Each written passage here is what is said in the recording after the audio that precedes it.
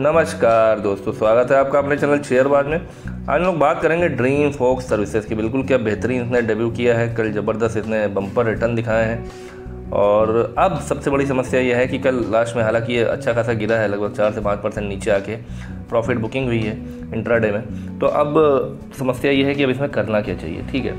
तो यहाँ पर हम लोग जानेंगे, पहले तो एक्सपर्ट्स की राय, जो एक्सपर्ट्स हैं, वो क्या राय अपनी दे रहे हैं, ठीक है? दूसरा क्या कहते हैं, हम लोग जानेंगे कि अंत में चार्ट पे थोड़ा सा हम लोग डिस्कस करेंगे। हालाँकि चार्ट तो अभी बना ही नहीं है। एक दिन का चार्ट है, पंद्रह मिनट का चार्ट हम लोग देखेंगे, उसका थोड़ा सा पैटर्न क्या है। और क्या कहते हैं, आगे हम लोग पूरा इसका फंडामेंटल देखेंगे कि इसके क्या कहते हैं, सब कैसे हैं सेल्स वगैरह कैसी है, सारी चीज़ें क्या हैं। तो वीडियो बनते तक देखेंगे। अगर आप आप तो आपको खुद समझ आ जाएगा कि आपको क्या करना चाहिए। पैसे रोकने चाहिए या प्रॉफिट बुक करके निकल लेने चाहिए। लेकिन उससे पहले जो बड़ी न्यूज़ है, आप उसको एक बार चर्चा कर लेते हैं कि DreamFolks solution Mirae assets India small mid cap focus equity master investment trust acquired कितने? तीन लाख तीन हज़ार चार सौ छियालीस शेयर उठाए इन्होंने इक्विटी शेयर उठाए in the company via open market transaction बिल्कुल।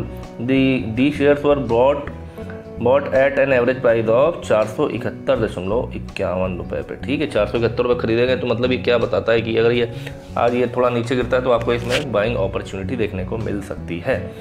ठीक है।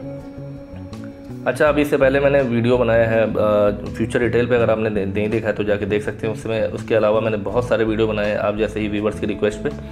आप अगर नहीं देखा है तो आप मेरे चैनल की प्लेलिस्ट में जाइए या रिसेंट वीडियो में जाइए, आपको देखने को मिल जाएँगे। बहुत सारे पेरेंट स्टॉक्स भी हैं, सारे स्टॉक्स हैं लगभग हर तरह के। ठीक है? तो देखिए ड्रीम फॉक्स की शानदार लिस्टिंग के बाद फिसले शेयर बेच फिसले शेयर बेच कर निकल लें या आएगी तेज़ी एक्सपर्ट की ये है राय। आप देखिए एक्सपर्ट क्या कह रहे हैं। ठीक है?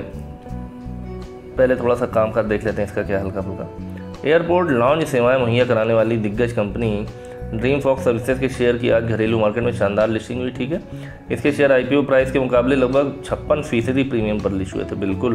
कंपनी जिस कारोबार में है, इसके पास 95 परसेंट यानी कि इसके पास शेयर मार्केट है 95 परसेंट डोमिनेंस है, ठीक है? जिसके चलते इसके आईपीओ को निवेशकों का शानदार रिस्पॉन्स मिला।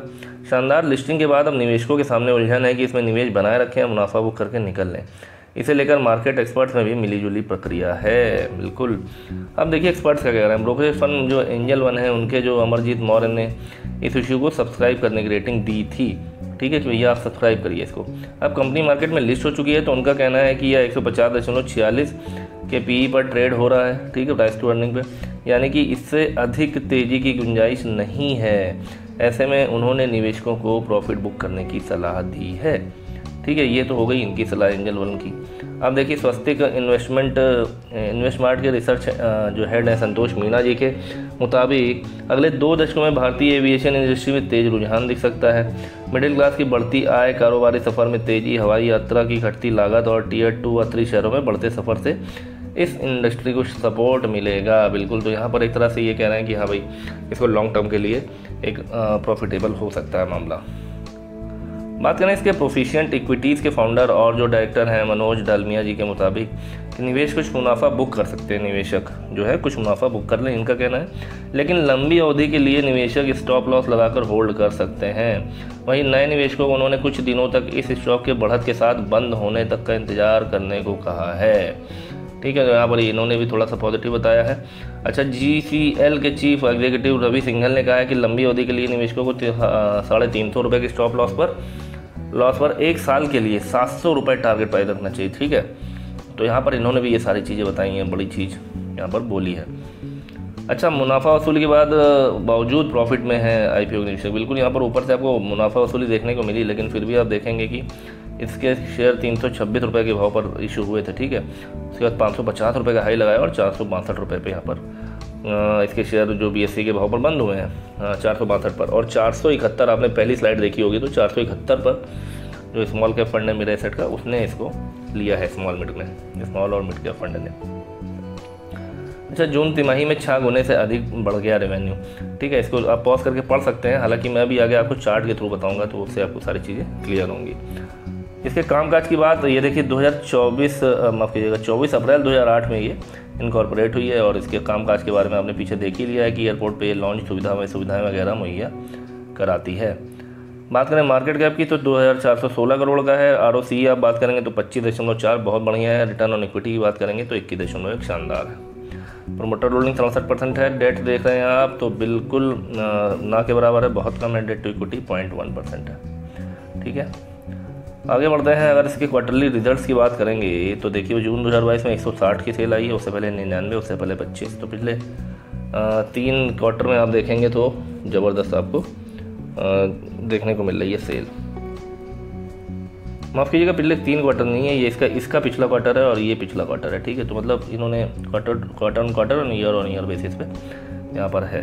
ऑपरेटिंग प्रॉफिट मार्जिन अगर आप देखेंगे तो माइनस में था पिछले साल, लेकिन यहाँ पर आपको प्लस में देखने को मिला और बारह परसेंट के आसपास। ठीक है। नेट प्रॉफिट की बात करेंगे तो यहाँ पिछले के, पिछले साल इसी क्वार्टर में लॉस देखने को मिला था, पिछले क्वार्टर में नौ और यहाँ पर तेरह तो यहाँ पर आपको एक अप ट्रेंड देखने को मिल, बढ़िया है।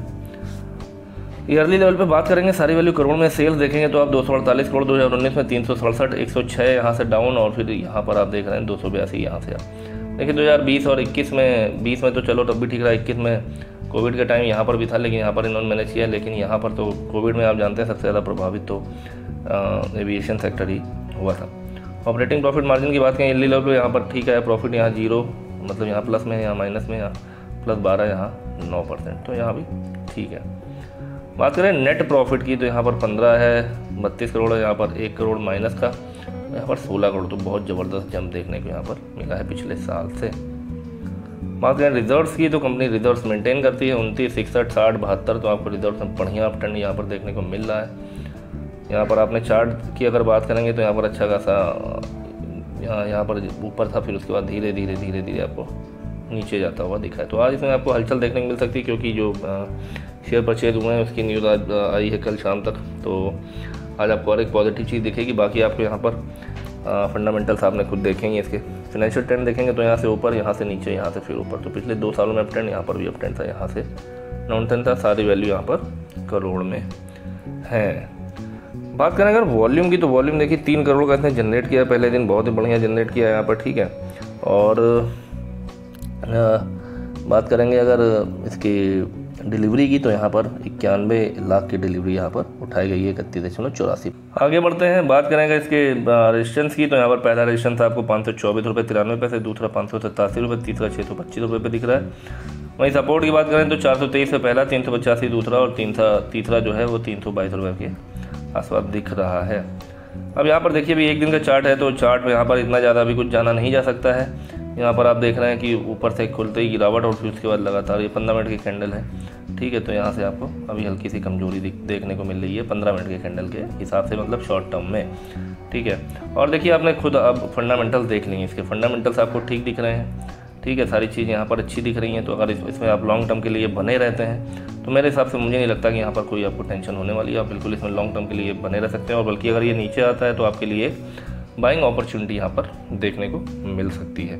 ठीक है, और अच्छा गाइज़ ये मेरे पर्सनल व्यूज़ होते हैं, मैं बिल्कुल गलत हो सकता हूँ, मैं अपने हर वीडियो में ये चीज़ बताता हूँ, ठीक है? मेरे पर्सनल व्यूज़ होते हैं, मैं बिल्कुल गलत हो सकता हूँ, इसलिए आप कोई भी इन्वेस्टमेंट करें, अपने फाइनेंशियल एडवाइज़र से बिल्कुल पूछिए, सलाह लीजिए, उसके बाद ही आप इन्वेस्टमेंट करिए, ठीक है? वीडियो अगर आपको अच्छा लगे तो प्लीज़ वीडियो को लाइक ज़रूर कर दिया करिए चैनल को सब्सक्राइब करके बेल आइकन ज़रूर दबा दिया करिए। धन्यवाद।